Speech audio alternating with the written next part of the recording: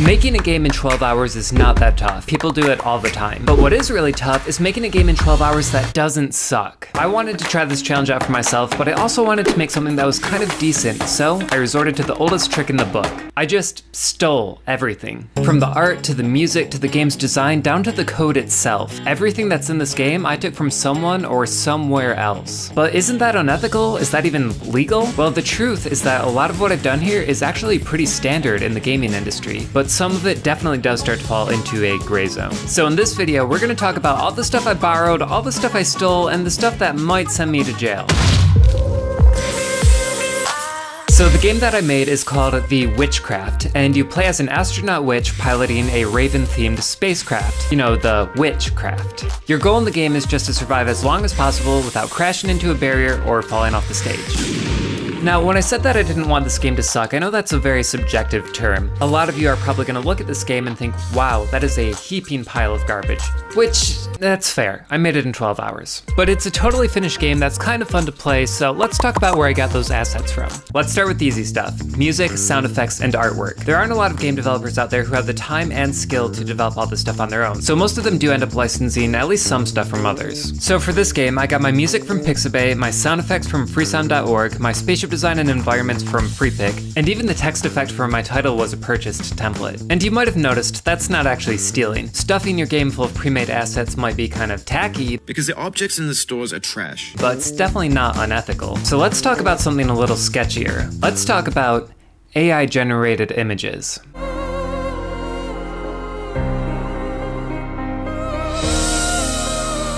For the title screen of my game, I wanted there to be a picture of the protagonist, just to give some context for the action of the game. But astronaut witches are in pretty short supply on Freepik, so instead I turned to the Midjourney AI image generator. I'm not going to do a deep dive on the ethics of AI images, but basically how the program works is it references other people's images without their permission and then creates a new one based on those references. And this is obviously not cool for a lot of artists, especially as they start to lose business and clients to the tools that are referencing their artwork in the first place. And for now, it's still legal to use these images in commercial projects, but it does feel pretty scummy to me. It's definitely not something that I'll be using moving forward, but I guess for this 12 hour hackathon project, it's a good way to get a witch. And by the way, if any of you are still worried about me profiting based on somebody else's work, trust me, I don't profit off these videos. So now I have all the assets for my game, but I still haven't mentioned the biggest piece of theft in this whole project. Some of you might have already noticed this, but this entire project is a huge ripoff of Robot Unicorn Attack.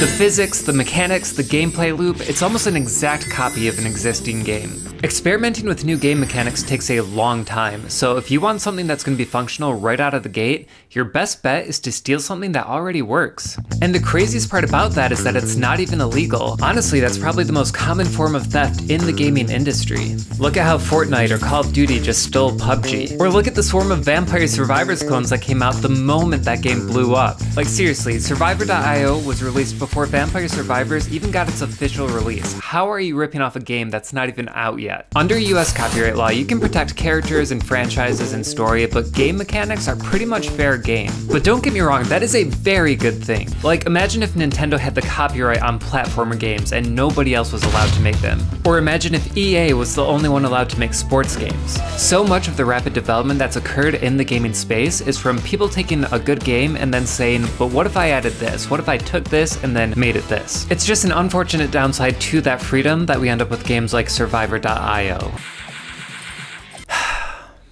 Please go buy Vampire Survivors. Okay, so take all of those stolen pieces, put them all together, and that is The Witchcraft. An entire game made in 12 hours out of completely stolen pieces. If you want to give this game a shot, it is available on my website for free, obviously. And if you want to play an even better game that's pretty similar, just go play Robot Unicorn Attack, also free. Thanks so much for watching, this was fun. Remember, stealing is bad, don't do it, and I will see you around next time. Bye.